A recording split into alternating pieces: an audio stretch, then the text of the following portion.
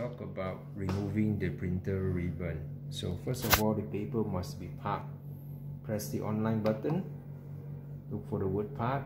Press button number one. Okay, so it is parked. Next, lift the top cover upwards and reach up to the upper friction.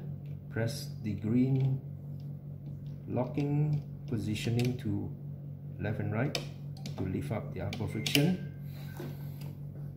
Next, hold down to the ribbon cartridge, lift up to the rear end of the cartridge, followed by the front section and glide the ribbon out from its position.